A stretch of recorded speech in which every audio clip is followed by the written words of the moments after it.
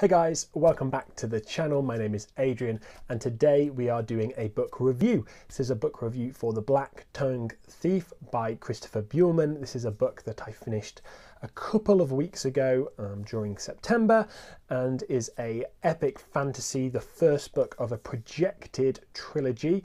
Um, and yeah, let's jump straight in with a little bit of a quick synopsis. So, Kinch Shannack, that's our main character, owes the Takers Guild a small fortune for his education as a thief, which includes, but is not limited to, lockpicking, knife fighting, wall scaling, fall breaking, lie weaving, trap making, plus a few small magics.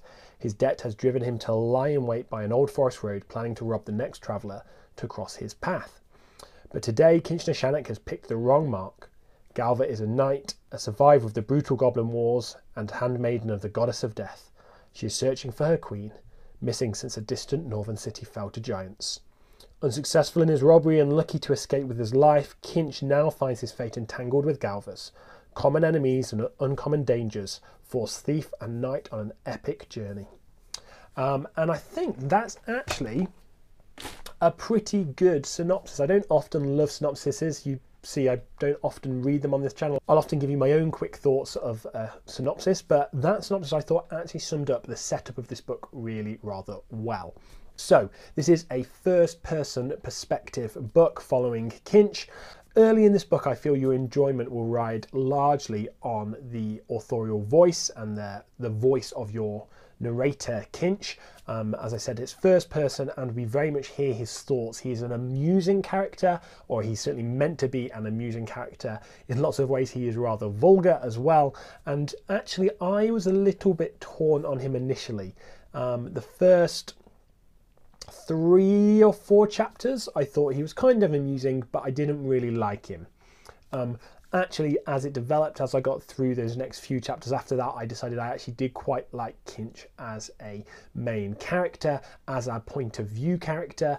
Um, I would not like to be friends with him in real life, but he is a very interesting um, character.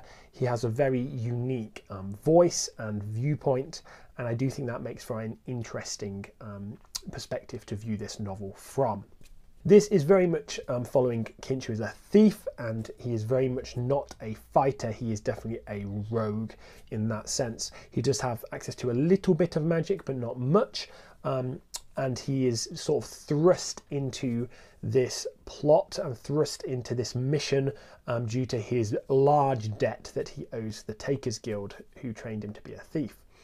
Um, the other main character who we see lots of is Galva. She is a knight with a um, bird companion, and she is, um, yeah, she's basically uh, a servant of the goddess of death as well. She's a very interesting character, very much chalk and cheese with um, Kinch, but she's very much a sort of dark paladin almost. She's yeah a blackguard, however you describe that, whether D and D terms you want to put on that or other fantasy terms. She's very much a dark paladin um, in lots of ways.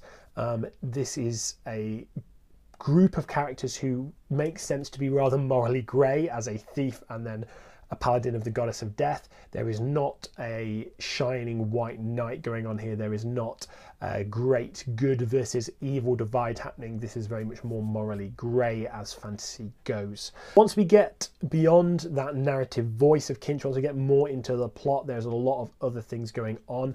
And one of the big things that surprised me about this book is how much I loved the world building. I wasn't really expecting um, in this first person point of view, light-hearted fantasy romp to really, really love the world building.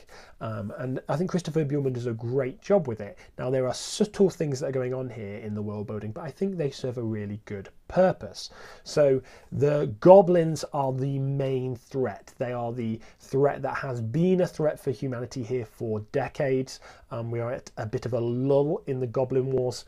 Um, there's a peace treaty being signed, and actually, I really like that the goblins, or the, I think they call them the ankle biters, um, are a, a, a, real actual force uh, in this world. I love that they're not just a comedic, easy to beat villain, but they are actually the big threat to humanity, um, and they have actually had to um, give them a peace treaty and sort of level out the playing field and say, that's enough, we can't continue to fight this war. And I love that.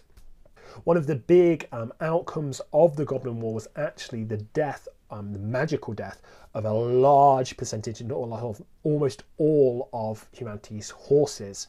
And that has some impact on the, the plot, but actually is a really interesting world building detail that horses are just so, so, so rare in this world. And I think a little change like that can do a lot of heavy lifting on making this world feel different and interesting um, in a very easy, simple way. And I think that was done very well. Um, and the plot kicks off, as the synopsis said, when a giant attack um, happens to the north, and that's where Kinch and is sent to try and work out what's going on and sort of protect the Takers Guild's interests in that area all in all, I think Christopher Buehlman does a very good job translating over to fantasy here as an author. Um, he is known as an author in other genres, but this is his first go at fantasy, and I really liked it. I think so much of your enjoyment of this will depend on how much you like Kinch, whether the humour lands for you as well, which it didn't initially for me, but definitely got better throughout the book. Um, and whether you like the relationships that are built between him and Galva and the rest of the cast. I think that's a big thing here. Yeah, do you enjoy those relationships? Do you enjoy how they build and they grow? Do you enjoy the characters individually? Um, and do you think it is funny? Because it is very much meant to be, if not a full on comedy, is very much meant to be light-hearted. And if that doesn't land for you, it might be more of a struggle. In my review on Goodreads, I did um, say that this is probably for fans of Nicholas Eames, um, who, people who've loved Kings of the Wyld. This is definitely a book that I would recommend having a look at. Klaus, don't even bother. You're not going to like it, I don't think. Um, and I do think that there is a real uh, comedic side to this, but I don't think that's its strength. I think a bit like the end of Kings of the Wyld, I think this actually does pack a relatively emotional punch towards the end, and that's what I love in my slightly comedic fantasies. I love the humour, I love the fun and the banter, and then I love when actually the author is able to introduce serious elements that actually matter um, and that actually make me feel something for these characters other than wanting to laugh at or with them.